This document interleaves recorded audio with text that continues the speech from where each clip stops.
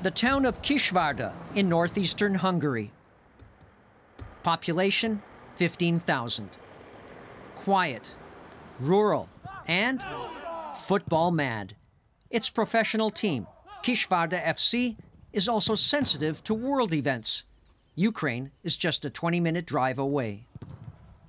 Almost a third of the players on the team are from there. The club's sports director and owner, Attila Reves, also works with the football academy in Ukraine. When the war started, Reves began a donation drive to support Ukrainian footballers and their families.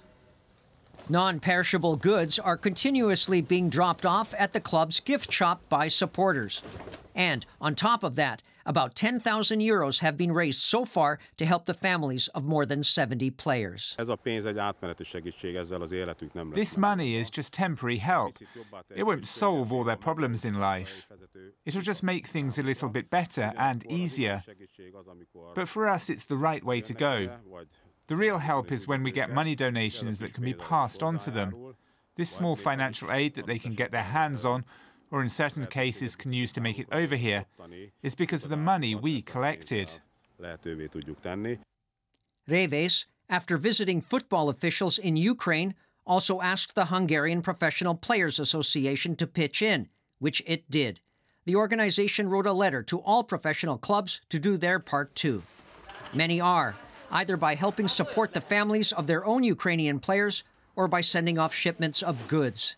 As for Kisvárda's Ukrainian players, they are devastated because of the war. One is goalkeeper Archon Odinsov. Both his parents and his sister are trapped in Donetsk.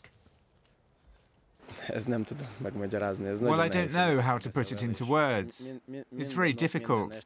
When you talk with them night and day and they just say, we're fine, we're being careful, well, that's very difficult. The Kisvárda club is also continuously bringing in junior players and their families from Ukraine. Here, a busload of about 40 youngsters attend a game featuring Kisvárda's third division team.